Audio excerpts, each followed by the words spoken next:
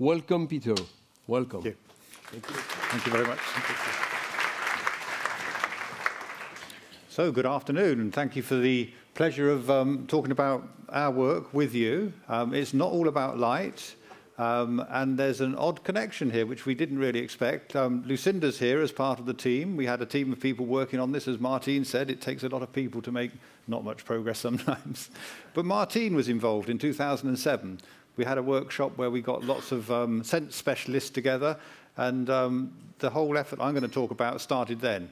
We started to expand our horizons about what was important, and um, and it, it, led in some interesting directions, mainly to do with schools, and I'm going to use evidence from schools um, to make a few points, um, but we think the implications are much broader than that. So, the physical environment, does it matter? We all think it does. I'm a construction person, I'm bound to think it does, and we sort of assume it does, and intuitively, as people, we know if we go into different spaces, we have a different reaction. Um, we may be uplifted in a cathedral or something. We may be excited in a theatre. So you sort of know it, but actually it's really hard to evidence it. And so um, I'm going to point you to the thing that everybody in the UK looks at in relation to schools, which is the Education Endowment Foundation Trust, who are the collectors of what is sound evidence for what works in schools. And they say about the physical environment that it has very little effect and there's not really any evidence for it. Now, I'm telling you, this is the thing that teachers look at, the government looks at, everybody looks at. And so it's a real shock. It's a shock for me. Um, we've done our study, so I'm really annoyed actually, but they say they only do meta studies, so they need more than one to look at. so they're, they're not changing it until there's more than one study. Um, but I'm sounding critical, but in a way, um, they've got a point. That there are lots of bits of evidence quasi-regularities, whatever you want to call them, about particular aspects, and there isn't really very much evidence about the effect of the whole built environment as we experience it, which isn't light, which isn't sound, which isn't all the bits, it's the whole experience of space. And there's very little evidence about that. So that was what we were working on, I suppose. And we're talking about implementation in a way, and in a way, the problem of implementation is a generic one, that actually um, we're doing studies of the parts of the problems, and then we're asking people to create whole things made up of lots of aspects. And um, our first speaker said, there's theory, and then there's practice. And I thought, yeah, you're right, that's exactly it. And there's a gap in between them. And the gap is in theory, and the gap is in practice. It's in both aspects. It's very, very difficult to actually um, move from specialist areas where the complexity has been reduced and there are really deep studies into broader areas where everything's interacting. And in fact, um, the way we've typified it is like this there are different sorts of research. I can't spend long on this because this is a complicated area in its own right. But on the left-hand side, you've got laboratory studies where you just get rid of the complexity and study one variable ideally in science. On the right-hand side, you've got um, stuff going on in what I used to call the real world, but the laboratory people said their world's real as well, so I've stopped saying that. So you're right, two real worlds. Why can't you move from the left to the right? And, you know, it's why can't microeconomics turn into macroeconomics? Well, it patently can't. Um, and it's because of the complexity, it's because of the multiplier effect of all of those aspects which become just too difficult to handle. And so in social science, there's an answer to this, which is in the middle there telescopic studies, where you have to go up a level of resolution. You have to actually do a thing called retroduction, which is start to make guesses about the broad elements that may be important. And they're informed by the detailed studies in the lab, and they're tested by the experience in the real wide world on the right-hand side. And so that's the proposition that to solve this problem, you don't do more and more detailed stuff, you don't do more and more connections. Of course, where you can model things, it's fine, but there are real limits to how far you can go on that. So rather than just jump to, and the architect will work it out somehow, because they've got really good creative skills, um, another way is to say, well, are there models of how we experience space that would help us determine at a broad level the types of things we should take into account? So that's what we tried to do. Um, and it was a simple thought experiment. we got really confused after 2007 when Martine and all the other specialists came along and um, gave us lots of information, and it was almost too hard to do. So um, we ended up taking a very simple stance, which is what happens if you're a person in a space and everything's coming through your senses? The first thing is that's how you experience a space, through all of your senses. And the second thing is that actually the overall impact is what your brain calculates is going on around you. So it's to do with neuroscience, it's to do with the interpretation of all that sense data. And that was the sort of thing we were talking about in 2007. And the guy from the Salk Institute, who was a neuroscientist, said, I can't help you. I can measure what's going on in your brain and where, but actually there's too much going on. It's an ill-posed problem. It's an intuitive response in the end. So we moved on from that because that was quite an interesting finding that actually it's not a rational calculation when you're in a space. It's more a reaction, particularly if you're going to do what we did, which is say, what's the effect of a space over a whole year, the ambient effect of its characteristics. Um, so we came up with what we've ended up calling the sin paradigm. Um, and this is a range of factors which, working from um, the detailed information about evidenced impacts on people in spaces, linking them through some sort of overarching model driven by how we experience stuff through our senses, we came up with three broad categories. And the first category is very familiar. It's naturalness things. It's heat, light, sound, air quality, that type of thing. And, you know, that, that's, that's to be expected, I suppose. And that's because our brains expect and like natural, healthy conditions and respond well to those. So that's fine, that's in the literature. But we then added in some other things. Um, we're also individuals, and our brains learn to like different things and respond differently in spaces. And so we put a category called individualization in. And I'll come on to what, how we interpreted these in a while. And the third one is level of stimulation. We actually potentially need different levels of stimulation for different situations. You know, we might want to be excited or we might want to be calm, but it affects how we are actually feeling in a general sense. And so we put a level of stimulation in. So this was 2010, complete speculation that these are the types of things we should take into account. And even though some of them are hard to measure, unlike the naturalness things, um, we were going to include them anyway because we thought they were important, even though they're hard to measure. So level of stimulation is quite hard to measure. So we took this model, and um, we got funding for a project in 2012, um, which was to look at schools. This is primary schools, small children, brilliant natural experiment for us because these poor kids are stuck in the same classroom for pretty much a whole year and they measure how they're doing academically at the start and they measure how they've done academically at the end. So it actually gives us a chance to link to a real sort of important factor in the educational scene um, that affects humans, a performance measure, if you like, which is very hard to do on productivity in offices, quite hard to do on getting better in hospitals. Um, so we had a me metric of human performance, and we had a situation where the exposure to the environments was a whole year in the same place. So it's a good situation, if there was an effect, to find it.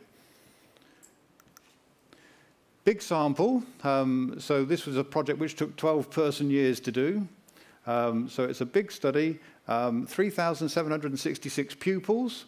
We knew information on each of those in terms of academic progress and also whether they were from disadvantaged backgrounds, whether they were, had English as an additional language, um, and whether they were SEN, special educational needs. So we knew a lot about the individual pupils. We knew which space they were in. We measured in detail 153 classrooms. And so we could make a connection between those. And then we were able to, and we looked at diversity. We went for as diverse a sample as we could get, all different ages of um, buildings. This is a bit like a massive POE exercise, to be honest. And then we set up a situation where we use those sin factors on the right-hand side, and we had the data on the progress of the children going up through the center. We put the pupil right in the center of the diagram. This is what we're saying. The person has to be in the center. It's they who are experiencing the space.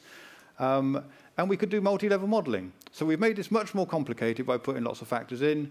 The multi-level modeling enabled us to strip out the things that were happening at the level of the school, compared with the classroom, compared with the individual child. So it's a neat solution for built environment research, actually. So what do we find? Well, we did lots of analysis. It took a hell of a long while. But then what we found out of that was that we could actually find connections between the different things we were measuring in physical space and their, and their linkage to progress in learning over the year, in reading, writing, and maths. We took the average. Um, and so these, the things I'm going to talk about are directly linked through evidence to progress in learning amongst primary school children. And this is what it looked like because you can start to predict from the model. So 153 classrooms, each of those columns is a school. We looked at about six classrooms in each school. And you can see there's a lot of variation amongst um, the influence of those classrooms on what would be an average child if there was such a thing. We just made everything one, basically. And the performance is up the left-hand side, and you can see if you take the extreme case, I'm going to give you the proper answer in a moment, but the extreme case is really quite shocking. So if you take this average child in the worst space compared with the best space, um, you would, and you move them from the worst to the best, you would expect the impact of that to be 1.3 sub-levels of progress, which in UK speak is massive because a child is expected to make two sub-levels progress in a year. So we're talking about a huge effect at the extreme. I know it's the extreme, but we're talking about if you were actually in a really horrible, dark, stuffy, um, damp classroom and you went into a perfect classroom, what would the effect be? It is huge, and we sort of know that, but this is the sort of evidence for it. The generic answer, rather than the extreme one, is that the variation in the characteristics of the spaces explains 16% of the variation of the um, progress the children made in learning over the year. So this is actually quite big. I heard somebody say if it was 1%, that would be really important. I thought this was my fallback position if this project didn't produce very big numbers. I was going to say 1% over decades with thousands of kids. Well, we don't need to make that argument. 16% is of about the same order as the variation in teaching quality makes. That's, that's estimated to be between 8 and 24, 24%. So we're saying this is a huge effect. And we think it's a huge effect because it's largely unrecognized and unmanaged, unlike teachers. So these factors are things that people just are blind to, and they vary really, really widely amongst the sample that we looked at. And in doing this, we've taken out the effect of the individual child. We've taken out the effect of um, the teacher, actually. They're the unexplained part at the classroom level. So we really do know that this is the effect that goes with the characteristics of the physical classroom. One of the unexpected findings was that we didn't find a school level. Um, we didn't find that the school level factors were significant. So what this is saying is there aren't good and bad schools, there are good and bad classrooms. The level of analysis needs to be at the level of the space rather than at the level of the building It's quite a significant thing, especially for designers, I guess. So one of the reasons is that the variation within schools is huge. So you really do get very poor and very good classrooms within the same school, often because of orientation or the way the classroom's been used by the teachers. Um, and so you have to basically do inside-out design. You have to start with classrooms that all work really well, and then you put them together into a school that works really well. So here's the interesting bit, I suppose. We know this 16% impact on, on learning, explaining variations in learning. Um, how does it pan out amongst the various factors? Well, these are the factors that came out as being um, significant in the multi-level analysis. You can see there are seven. Um, light, temperature, air quality are the naturalness ones.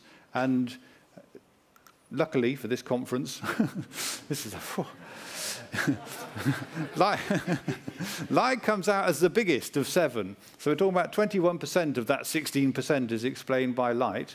Um, and interestingly, do you remember the others, the level of stimulation, the individualization with speculations? They together explain 51% of the variation. So they're actually as important, if not marginally more important, than the naturalness ones. And so that speculation about what might be important um, beyond just the normal big four things that people measure turned out to be actually really quite significant. I'm going to go quickly now. Lots of people have talked about lighting, so I don't need to say much, except more isn't better. I mean, that's obvious. You've got a lot of experts here. Um, if you have too much glare, that's problematic. Um, and if you actually put the blinds down and don't take them up, that's problematic. There's all sorts of behavioral things. And you can see there's cupboards stacked on the right-hand side there against the windows because the teachers aren't realizing that actually it's really important. But you also need good artificial lighting as well.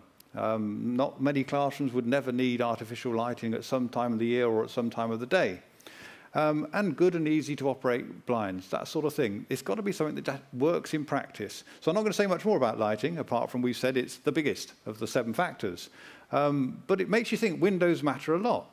So we're talking about windows as how light gets in. The second biggest factor, I think it was, is ventilation. And this is a school monitored over seven days in the UK, just as an example. Um, you can see Saturday and Sunday at the bottom are brilliant. nobody in there, beautiful, beautiful air quality.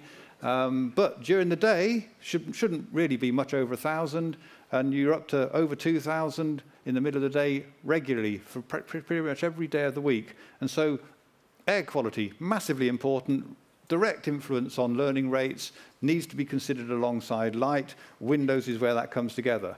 Views of nature dropped out of our analysis when we looked at all three subjects, but when we looked just at writing, it reappeared.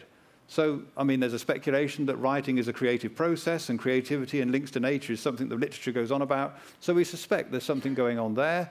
We've recently done a study of girls' schools, and one of the girls and then the group of girls said to us, and when I'm trying to do writing and I'm trying to imagine things, I need to look out the window, and then it all starts to, and we thought, you're saying just what we were guessing. and so it's obviously true. light, light, of course, is closely related to color, and um, one of the things we looked at was level of stimulation. That was a quarter of the influence. And um, it wasn't known whether really bright, stimulating classrooms or really dull, boring ones, I'm using colour words here, um, were optimal. It turns out somewhere in the middle. A calm backdrop with points of light, that, or points of colour, sorry, that actually brings that about. So we're talking about using colour as a stimulant as well. So what I would say is that, yes, um, light is very important. It is the biggest single factor, but so too is ventilation, so too is colour, so too are all the other factors there. And some of them are really quite um, unusual, like individualization, personalization of the spaces, which for maths is a huge factor, isn't to do with light. So what would I say? I'd say light is necessary, but not sufficient. Of course, it's hugely important, but it's not the whole story. And when we're designing and when we're looking at these factors, we need to actually take a broad view. And a holistic, human, sinful perspective maybe helps us do that. And it scales and evidences the impact of light. So light does come out as massively important. But it contextualizes it and says when you're dealing with light, don't accidentally mess up these other things. And it also, I suppose, is more convincing in some ways. We're not looking at light, it just came out. We're not zealous about light per se, but it actually does come out as being important. And I think that is actually more compelling, I guess. And what's more, it enables you to try and bridge that gap, the gap between the parts and the wholes. This, this model, this SIN model says when you're a designer, think about naturalness, but think about the level of stimulation, think about the individualization of the space. Those are actually design principles that you can take into account. And if you do that, clients should want it because it affects learning. And the teaching professions have been um, very interested in this and, um, and actually picking up our results very strongly. In relation to standards, this is my last point, I would say um, CSTB in France years ago was talking about standards of the whole space rather than standards for the individual parts. That would be an interesting direction to follow. They see everything as electromagnetic radiation, so why shouldn't you? I mean, it's, it's sort of an argument. But what I would say is light, very important, but see it in a context, and I'd be interested in feedback on the, the SIN model and the sort of factors that we try and take into account, given that we have the evidence that they do make a real impact. Thank you very much.